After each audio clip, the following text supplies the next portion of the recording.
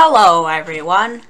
Today I will be playing Universe Sandbox 2, except instead of playing it, I will be showing you guys something that I think is very cool. How big the universe really gets, and how small the universe really gets. We will be starting with everyday objects and moving up to the largest objects in the universe. Slight disclaimer before we start. We will not be including black holes or galaxies because the black holes warp space-time and if I put them next to the stars it'll just warp them and they look like lines and ovals so won't be including those. And yeah, so let's get started. But before we do, please hit the subscribe button and hit the notification bell so you don't miss any stuff like this. Comment down below if you want to see more videos like this. Um, and with that, let's get started. We will be starting with a dice. Some objects some objects get so big the screen is shaky. So we have the dice, marble, 20 sided dice, golf ball. And just so you know, I won't be naming all of these. So your ears are saved. Pool ball 8, the baseball and tennis ball, the bat the great banana banana banana. Great way of pronouncing that. Bowling ball teapot basketball jack-o'-lanterns and pumpkins. The great pigeon. I made a whole video on seagulls flying over my house. Go check that out. Link will be in the description watermelon, the long sword. And now we start getting to relatively big objects. The recent Parker Solar Probe launch, Elon Musk's Tesla Roadster, the Voyager spacecraft, the very famous third stage of the Saturn V, and we get to the largest things on our planet, the blue whale, which is actually just a sperm whale that I sized up for this video. We get to Apophis, a famous asteroid, and one of the heaviest objects that was made by man.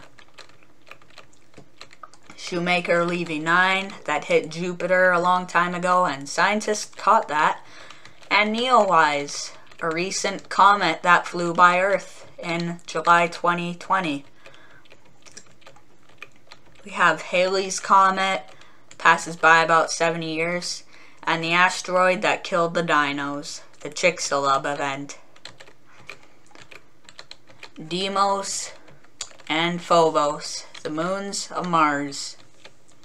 We have Crab Pulsar, the smallest neutron star in this game, and what the sun will look like in 5 billion years. A white dwarf star.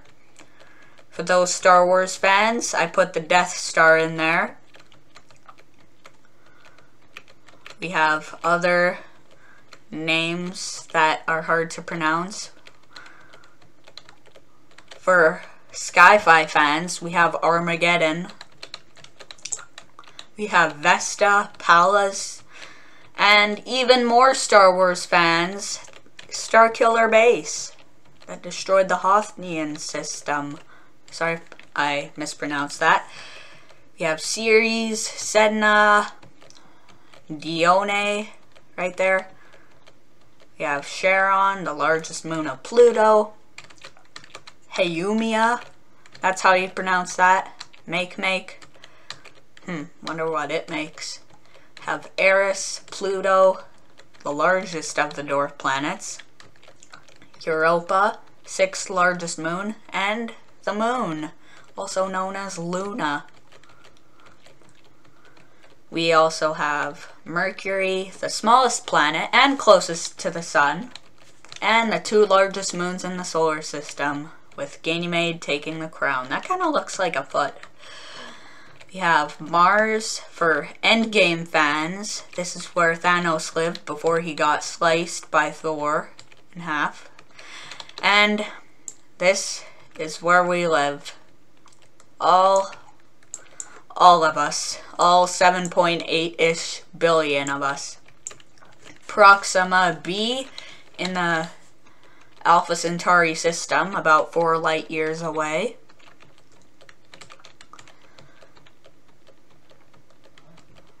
We have Kepler-69c, the largest rocky planet that I can simulate.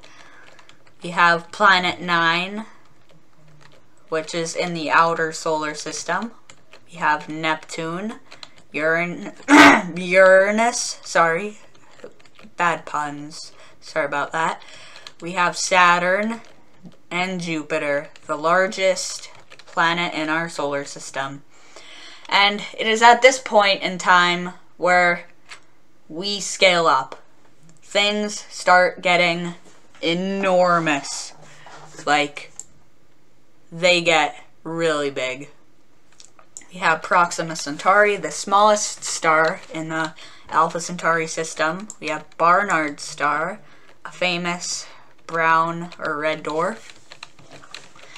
We have the Castor Gem stars, Castor Gem BB, AB, CB, and we finally have the Alpha Centauri stars, B and AB, or no, A, and the sun, the very star we orbit, the star that you look up in the sky and see. Don't do it though, you will get blind.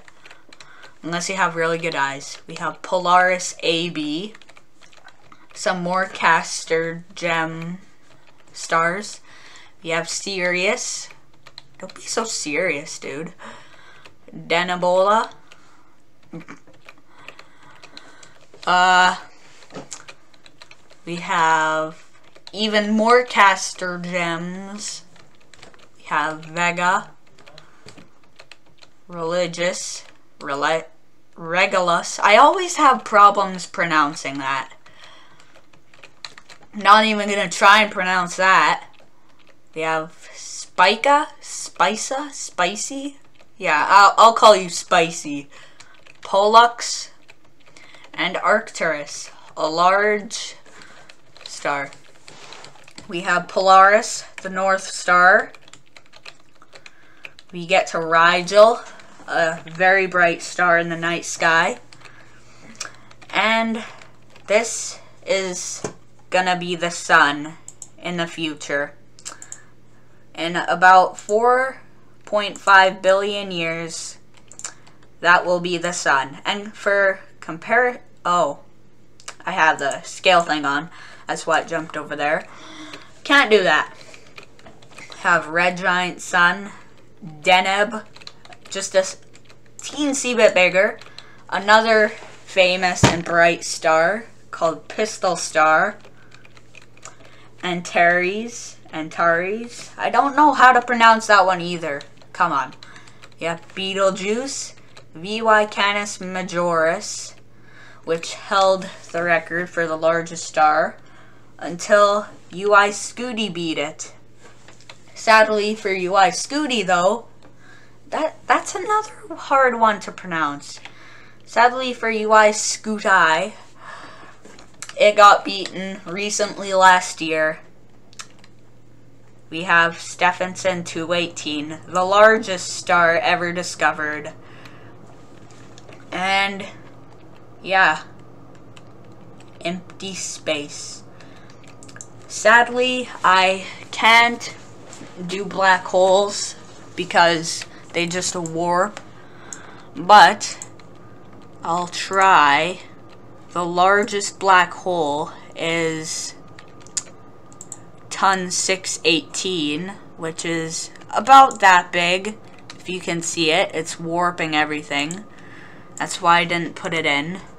It would just be warping all the big stars, so you wouldn't be able to see them. So, yeah, uh, that is the extent of matter and size.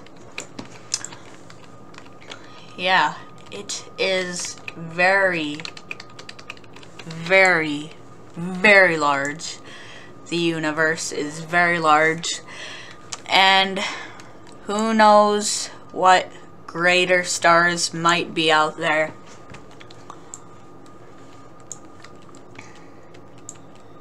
Yeah. That is my universe comparison video. So guys, if you enjoyed today's video, it was a little bit different. It was more of an education video rather than a gaming video where I destroy stuff in Universe Sandbox and that stuff. I hope you enjoyed. Uh, like, subscribe, comment down below if you want to see more stuff like this. Like the video if you do want to see more stuff like this. And yeah, guys, I hope you enjoyed, and I will see you in the next video. Goodbye.